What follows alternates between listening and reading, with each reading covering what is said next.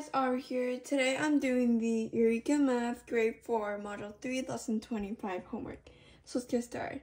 A student used a sieve of Eratosthenes, Eratosthenes uh, a little tricky to pronounce, to find all prime numbers less than 100. Create a step-by-step -step set of directions to show how it was completed. Use the word bank to help guide your thinking as you write the directions. Some words may be used just once, more than once, or not at all. So first thing how to create this, we start with one and we make sure to shade out one, um, the shade one to another color to show that one is different because one is not a prime number nor a composite number. So step one would be to shade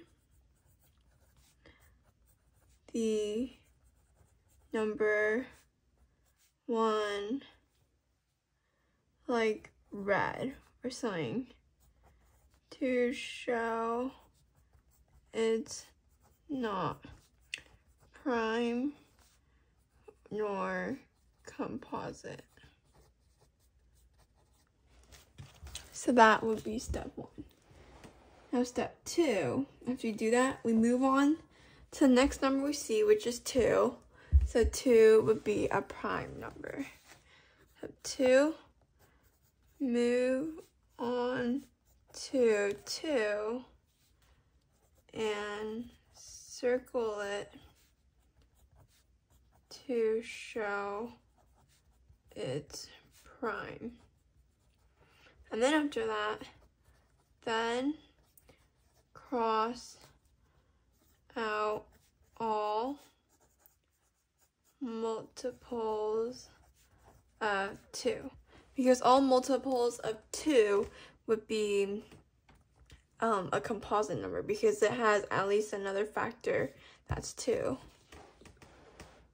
number 3, well, number 3, really just keep on moving on.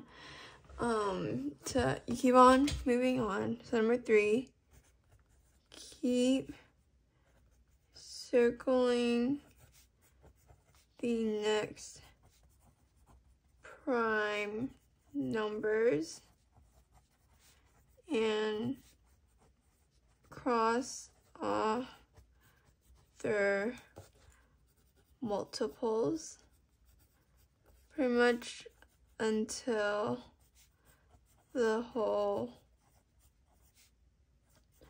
chart is filled. And after that, I guess you can shade in the um, composite numbers. Then shade the composite numbers.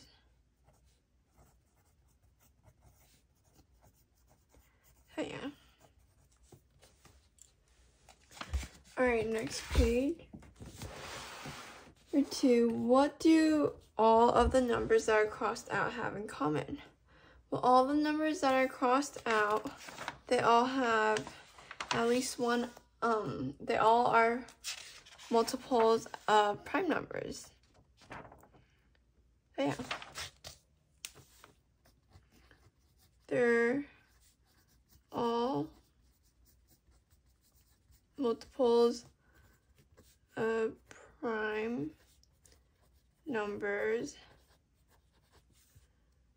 So they are all composite. Our number three says, what do all of the circle numbers have in common? So all the circle numbers, they are prime numbers. So meaning they have no other factors. So they are all prime and have no other factors besides one and itself.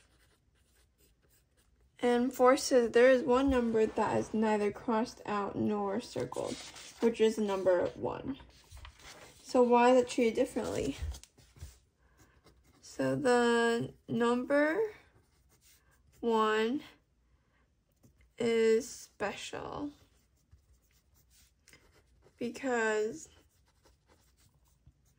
it only has one factor and doesn't so only has one factor.